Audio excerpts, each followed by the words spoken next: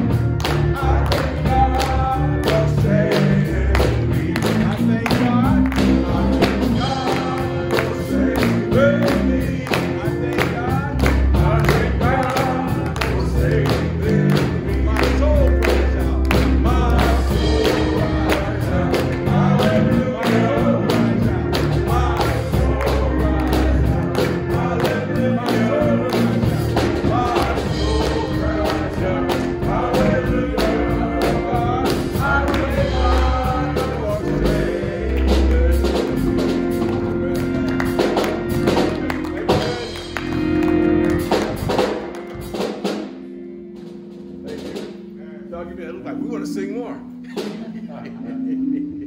God is good all the time. God is good All the time. all the time. God is good. Amen. Amen. Okay. Uh, if you're if you're standing, that means you're ready for a testimony. If you're not standing, Sister Marv is standing, Brother Arthur is standing. Sister Marv, Brother Arthur, then Brother Rome. Um, I just like to, um, thank the Lord for his, um, blessings and his favor. I wanna thank him just for, um, getting us through, um,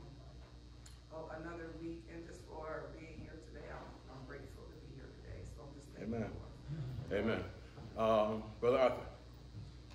I want to give God glory, honor for being ahead of my life. I thank God for all of y'all for being here, to be in the presence of the Lord. I thank God for what He's doing in my life, how He's working through my life, and the people that He put in my life to, uh, to minister to me when I'm when I need minister, to pray when I when I can't pray for myself, when I can't get a prayer to. So I just thank God for uh, for all of y'all and for being the God that He is to, to all of us. Amen. Amen. Brother Rome. Uh, I just want to thank God, thank Him for being here today, and just um, I uh, just want to thank give, give God all the glory, honor, praise because for the first time ever, I uh, I, I completed a year of my um, daily bread devotion. All right, praise God. I, uh, I did I did all of my devotion for a year. I, I didn't miss one, so I thank God and give Him all the glory, honor, and praise that. I Amen. Amen. Amen. Uh, forgot your name, brother. Oh, uh, my name is James Dennis Moore. This is my son. Brother Moore. Okay. My wife and I, we're, well, I'm from Buffalo. She's from Rochester, New York. We're, we're from North Carolina. We came up for the, since Uh-huh. COVID came down, so with God's glory and grace that we made it up here safe and sound. Uh, we belong to New Zion Missionary Baptist Church. We're not a perfect church, but we serve a perfect God. Amen. You. Amen. Praise God. So um, that was by way of uh, visitors, Brother Moore, brother and sister Moore, right? And you, you're originally from Buffalo, Correct. and she's originally from Rochester. Correct. We try not to hold that against her. but now, but now you you you have moved to North Carolina. Yeah, you've been here about 15 years. Wow, Praise God. Well, thank you for visiting. Were you invited? My son, Oh, okay. James Moore. James Moore. All right, got it. I knew. I knew there's other James Moore around here somewhere. all right, all right. Praise God. Thank you for coming. Thank you. Glad to be here. Um, any other testimonies? Sister Rowe. I just want to thank God just for uh, waking me up this morning and let me see another day. And I also want to thank Him for like the situation, the trials that I'm going through. I just know that God is a good God. I will overcome it, and I just like to thank Him for me uh, just trusting in Him. Amen. Amen. Amen. Now I Jeff. can just, just thank God for, for just saving and keeping. Amen. Amen. Well, we, we get into like the fundamental testimonies now, where we thank and praise God, not for the spectacular, but for what He's doing, just the the plain things that He does for us that He didn't have to do. Amen. Amen. Didn't have to do it, but He did, but He did, and He did, and I thank Him. Amen. Brother Pete. Good morning, church. I want to thank God, A, for, uh, getting me up for another day and bringing me here. I think I've been here for a while, and since the pandemic, I was here for, uh, my recommitment to the Lord. But I want to thank God, the Father, the Son, and the Holy Spirit Amen. for, for having faith in me.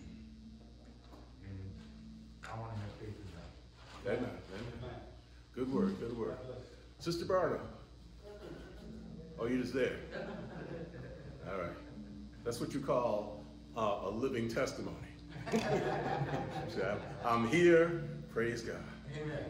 Um, all right. Going. Going. That's it for test. I'm gonna throw mine in there though. I thank God every day. Amen. You know, sometimes I wake up surprised. Um, heart attacks run in my family, and you know how much how much warning you get before you have a heart attack. How much warning do you get before you have a heart attack? Very little. Yeah, very little. Sometimes none.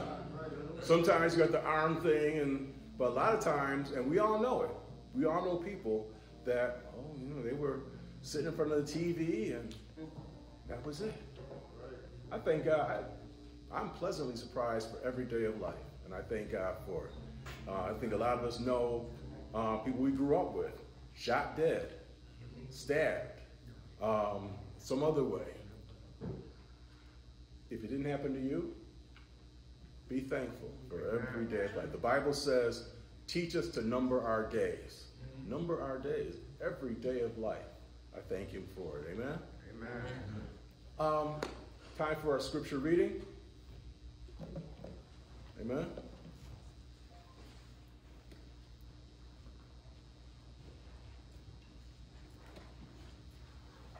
Good morning, church. Can everybody please stand? This morning, responsive reading will be coming from the book of Ephesians. We'll be doing Ephesians chapter 4. We'll be doing verses 4 through 14. Ephesians chapter 4, verses 4 through 14. I still see a few more pages turning.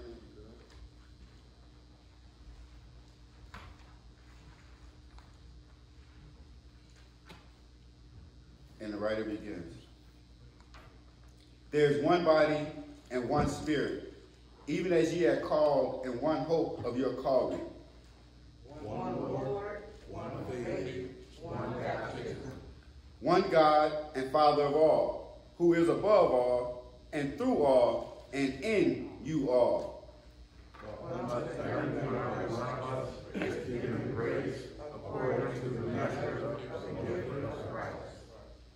Wherefore he saith, when he ascended up on high, he led captivity captive and gave gifts unto men. Now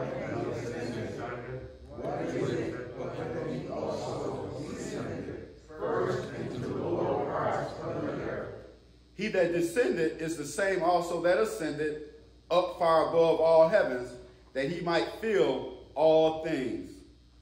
For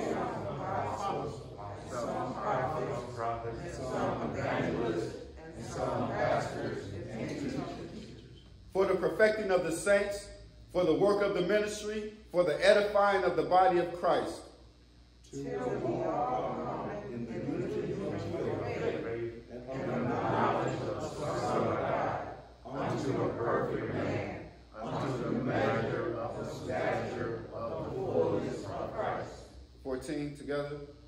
That we henceforth be no more children, tossed to and fro, and carried about with every wind of doctrine, by the sleight of men and cunning craftiness, whereby they lie in wait to deceive. May the Lord add a blessing to the reading and to the hearing of his word. Amen. Good job. Do it on this prayer. Amen. Amen.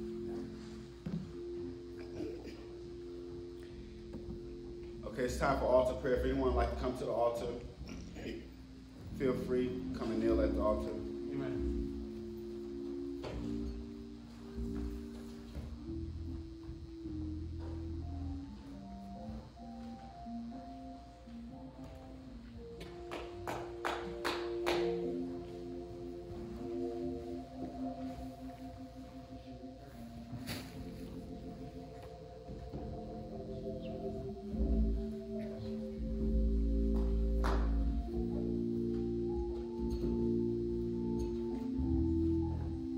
Most holy and ever loving Father.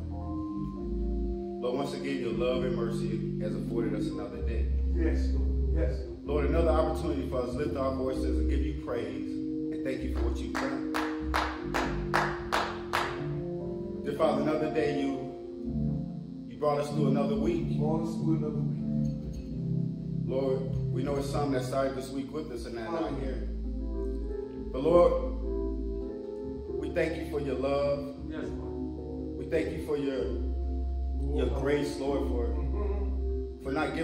we should have gotten, Lord. Oh, hallelujah.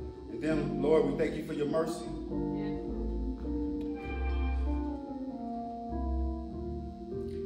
Dear Father, we just we just come to you at this time. We we know as we come here today, Lord, that everything in our lives is not perfect. Oh. But Lord, as we kneel to you, as we stand before you, Hallelujah, Lord. We put our hearts before you. Yes. And our hearts will cry out to you, Lord, that we need you. Hallelujah. Our hearts will cry out to you, Lord, that we love you. Hallelujah. And Lord, our hearts will say that that we want to do the right thing.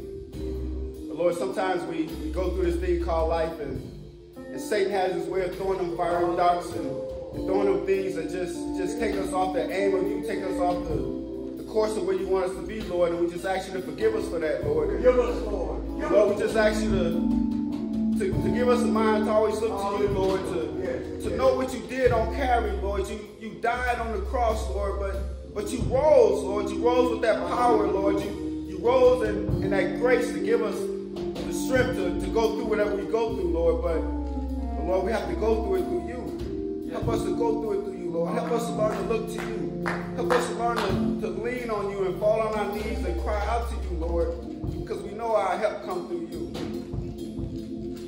Lord, we lift up our loved ones today that's hurting. Lord, help, Lord. Yes. Put them before you, Lord. We just, Lord, in the, in the midst of, of us knowing where we need to be, where we need to say, Lord, help us to, to be that forerunner. Help us to be that person that, that they can look to, Lord. Help us to, to know what to say to them. To, Lord, just, we just cry for help today, Lord. And then, Lord, as we, as we hurry to, to the to the altar, Lord, we just we just can't thank you enough for what you've already done. Thank you. We Thank you. just thank you for your love and grace.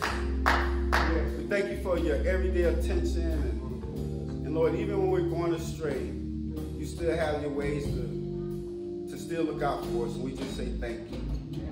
We lift up the sick. We lift up the seniors today, Lord, that's that's hurting. We lift up Mother Mary to you. Lord, we lift up Sister Melody and her family to you at this time, Lord.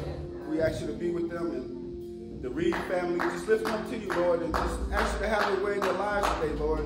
Yes. Continue to lift our past up to you, Lord, and we ask you to continue to strengthen him and give him the zeal, Lord. And as he brings forth the word today, Lord, pray you prepare our hearts to receive that word, Lord, and, and help us to be better and stronger and doers of that word, Lord, and help us to love you more. We thank you, we praise you, and we be careful to give you the praise, give you the glory, Yes, give you the honor in all that we do. In Jesus' name we In the pray. name of Jesus. Amen.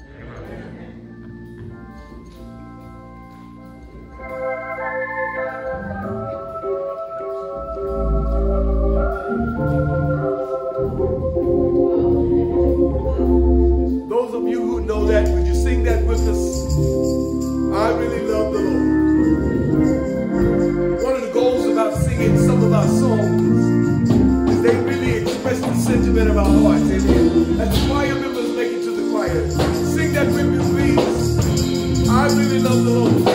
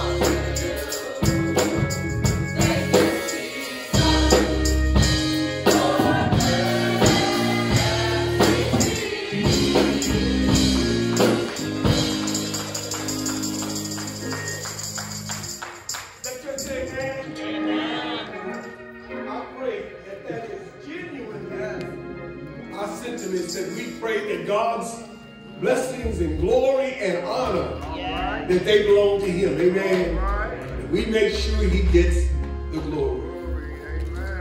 Amen. Amen. Did every did everybody get a, a uh, bulletin this morning? Those of you who came in, I know there were some of you who were here in Sunday school. You might not have got a bulletin. Sister Bardo, if, if you didn't get a bulletin, would you hold up your hands? Here's a couple of hands up here, Sister Bardo. In your bulletin is an insert.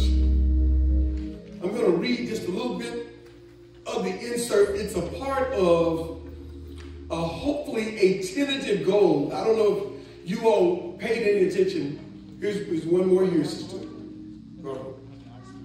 This is the fifth Sunday of the fifth month of this year. That means next Sunday will be the first Sunday of the first half of this year. And excuse me, it'll be the last first Sunday of the first half of this year. The whole year of 20 and 21 will be half over next month. Amen? And so that really means, saints, that we need to ask God to give us some vision and some wisdom as we look forward to a new season. So I don't know, in, in your in your bulletin, did you see a letter from the pastor? Yes. Okay. The letter from the pastor, you can read it in its entirety a little later on, but I'll just share a couple of thoughts from it as we begin uh, our worship service today. So, dear Midtown Bible Church family, as we continue to find our way through this season of uncertainty, we will continue to trust God. We are so thankful how He has kept us thus far. The Bible teaches that the people without vision perish. So, so here is the goal. You can read the rest of it on your own. Is that as we end, as we get close to ending the first half of this new year, and really, I'd like to say, I don't know, y'all, I'm being honest, I don't know, maybe the hopefully the latter half of this whole pandemic issue. I really believe it's time that we ask God to help us to assert ourselves and look forward to a new season of ministry. Amen? Amen. And that really means that as we go towards the summer, our children will be out of school. Um, Bill, when will y'all be out of school? The 25th. The 25th? The 25th is the last day. 25th of June? June, 25th of June. 25th of June will be the last day. So that means we've got, I guess, essentially one more month for kids to be out of school. And that means technically, or in a practical sense, summer is upon us. That also means, y'all, that if we want our children to be positively engaged, we need to ask God to help us to have some vision and some plans and some hopes for them. I don't know if you know this, but our kids are being victimized by a crazy world today. And so we're hoping that, I'm not necessarily saying that it needs to be done, everything needs to be done in the church, but maybe by the church we can begin to think through and plan some activities and, and issues that will will involve and engage our children and our families. Uh, I had someone help me make some suggestions that the women help devise a luncheon maybe once a week or so that we look for, you all look for as ladies, maybe a spa day or tea day, a day to walk to or through the marina, a day to, and this is interesting, y'all. We just uh, we just helped Sister Melanie say goodbye to her mother and it was interesting where her mother was located was on the backside of Forest Lawn.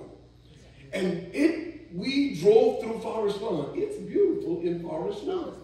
I mean, there are ponds and creeks and I mean, there's all these beautiful sights. And so, and that's right down the street. So maybe a walk through Forest Lawn, maybe uh, a guide through one of the local museums.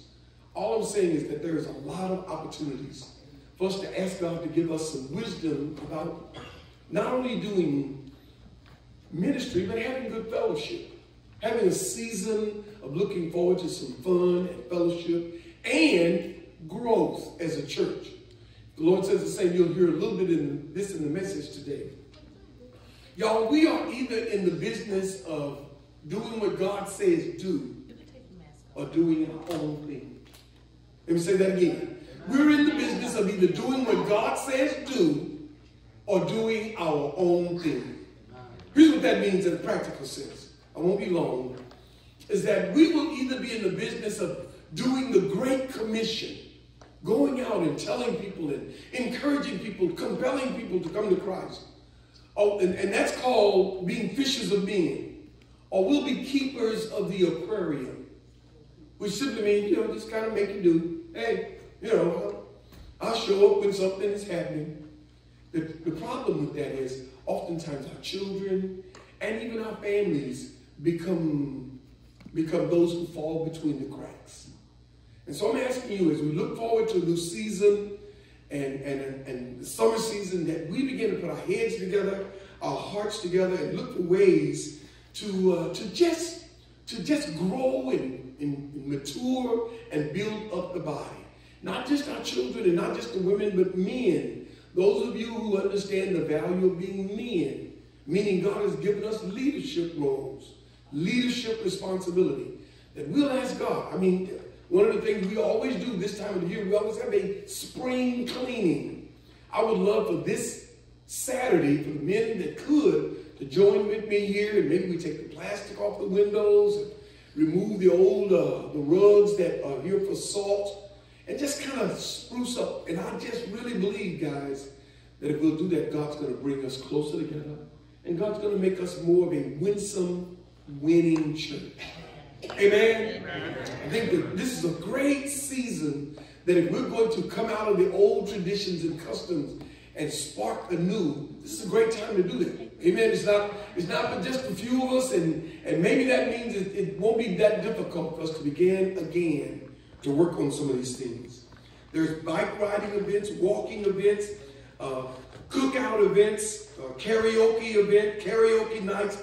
There's all kind of things we can do and I just want to ask you to help us, help me as the pastor, and help uh, us as the church to begin to look for some ways where we can spark some renewed sense of enthusiasm, a renewed sense of focus and vision. So can I get an amen right there, y'all? Yeah. Could we consider doing some of those things? Yeah.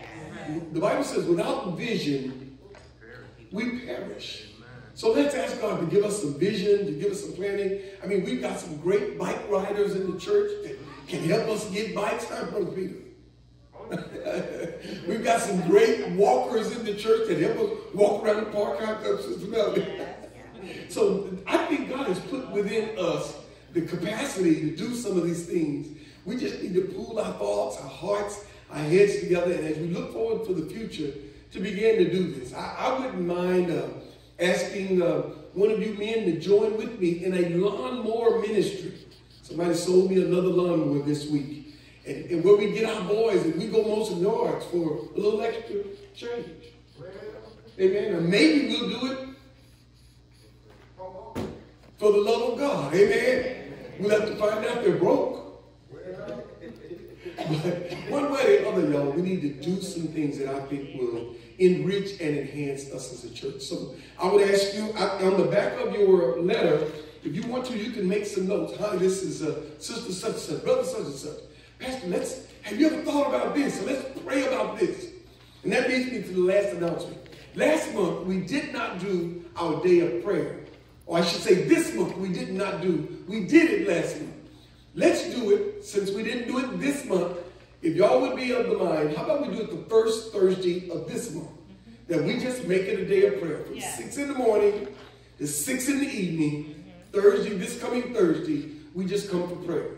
Many of you have done that already where you came in at your convenience at the opportune time and you maybe made your way to the altar. Some people just sat in the seat and they prayed. Some people went to the conference room. I would, I would encourage you and ask of you to let us, we're going to talk a little bit more about that in the sermon. Let us become a, a place where prayer goes out all the time. And, and, and even develop a prayer list that has prayer requests. And on the other side has praise reports where God has answered our prayer. Amen. Amen. So I'm asking you, let's us do these things. Uh, uh, a beloved saint said to me just yesterday about a very, very large church. And they said, you know what, we're going to we're, we're going to start looking for another church. And I asked why. And they said, because churches become so unfriendly and, and routine. And You got to give your temperature. Yeah, I mean, they, they say got to jump all these hoops. And, and, and saints, my prayer is, is that we will never be that kind of a church. That when they see Brother Jerry or Sister Barlow or whoever is on the door, that they are welcomed in. And then when they shake your hand, I know we're not shaking hands right now and we're not doing a lot of that stuff, but I just pray that we will ask God to help us to be the kind of church that welcomes people home. We're actually looking for a rug. Believe it or not, y'all, we look for a rug that said, welcome home. And so we're still looking for that. And if you've got some ideas as to how we can do some of these things, we just pray that God will be pleased with our efforts. Amen? Amen. Amen. All right. I'm going to ask our officers to make ready that we might honor God in our giving. And saints, I still say this with everything that's in me. If, if, you, if you want God to bless you in your living, honor God in your giving and watch and see what God will do. Amen. To ask if everyone will stand. We'll trust that we'll have some good giving music. Or we're going to have someone to help us with the, uh, with the debit card machine. Uh, and I would ask that you would just be honest. I, I believe this, y'all, with all of my heart. That you cannot outgive God. Amen. I believe that with everything that is in me. That same believer said to me yesterday, I, I thought I had got a stimulus check, but I realized I'd already got my stimulus check. She said uh, the IRS found out they made a mistake and sent, and sent her another $5,000. Wow. Yes. I just know you can't outgive God, y'all. You cannot outgive God. So I'm going to ask you to make sure that you are one of those saints who honors God. A good beginning place is to honor God with the tithe. Amen. For those of us who've grown and matured, that really just was the place we started out in our giving. We moved on beyond that. Yes. We give God more than 10%. All right, follow the leading of the ushers from the rear of the church right around, and then we're going to trust God to bless us with the remainder of our service.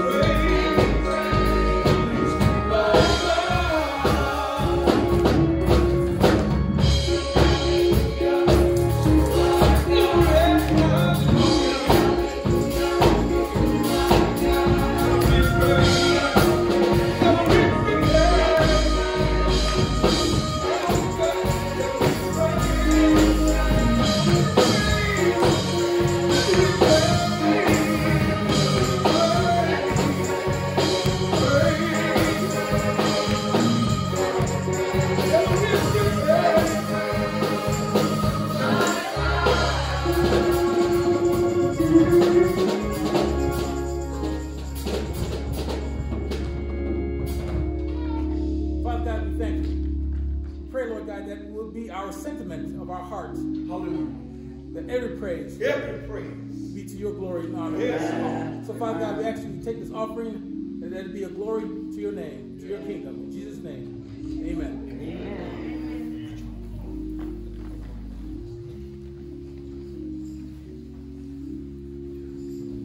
Ask our choir bless us.